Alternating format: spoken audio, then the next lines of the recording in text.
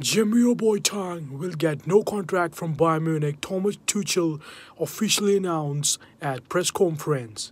Keep watching and subscribe to Press Talk.